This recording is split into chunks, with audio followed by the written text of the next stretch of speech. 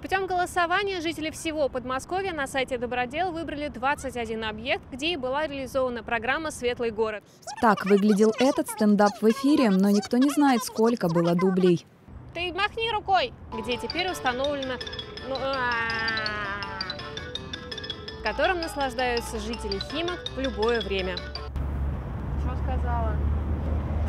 Вот работа журналиста за кадром, то, что всегда остается в секрете. Химки ТВ о жизни городского округа и в плохую погоду, и в мороз, и на палящем солнце. Мы так же, как и многие химчане, живем спортом, поэтому в наших интервью действительно лучшие спортсмены Подмосковья. Мы одни из первых оценили полет Гагарина.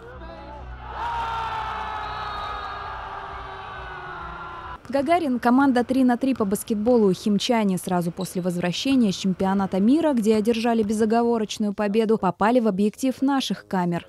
Знаю, что первые игры пришлись на ваш день рождения, финал пришелся на день рождения тренера. Считали ли вы это каким-то счастливым предвестием? Когда у меня был день рождения, просто попросил парней, чтобы мы выиграли. Причем с баскетболом мы дружим как на паркете, так и за его пределами. Вот наши журналисты, к примеру, вместе с Алексеем Шведом, лучшим снайпером Евролиги, штурмуют детский магазин. Здесь знаменитый баскетболист помогал собраться в школу детям из малообеспеченных семей. Коля буду рисовать, кого угодно, даже динозавров. Боюсь. А я люблю динозавров тоже, знаешь? Но чаще всего мы снимаем о том, как жизнь химчан делают комфортнее. Вместе с главой округа проверяем ремонт в подъездах, благоустройство дворов, реализацию многих других программ. С местными жителями дружим. Если других журналистов часто побаиваются, наших охотно встречают всегда и везде. Я не знаю, меня очень многие боятся, когда я снимаю. Нет, бояться не надо. А эти специалисты всегда по ту сторону объектива, наши операторы. Их глазами вы видите каждый сюжет Химки ТВ.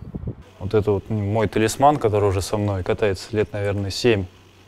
Мне подарили дети-сироты вот, на Новый год и сказали, что он на счастье. Вот 7 лет уже счастье приносит на съемках. Самое интересное и сложное – это найти красоту там, где сложно найти.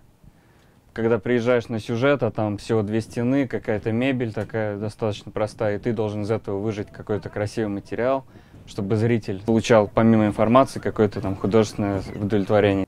Съемочная группа – настоящая команда. Мы всегда стараемся друг другу помогать. Например, этот штатив весит килограммов 5. И порой на срочных съемках оператор просто не может захватить его с собой. И тогда эта ноша ложится на плечи девушки-корреспондента. А это наш редактор Алена. Ксюш, вы на съемке? Да. Давайте, удачи. Пойдемте, я вам покажу нашу редакторскую комнату, где у нас сидят все корреспонденты.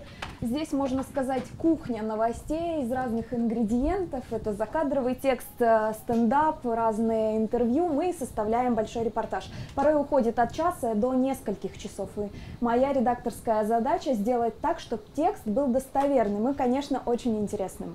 И заключительная стадия подготовки выпуска. Задача того, чей голос вы сейчас слышите. Я Эльдар Шафигулин, режиссер монтажа. Моя работа кадр за кадром — собрать 5 минут выпуска. Кажется немного, но для этого нужно отсмотреть до 3-4 часов исходного материала, чтобы ровно в 19.00 вы включили Химки ТВ и узнали все самое свежее и интересное о жизни нашего города.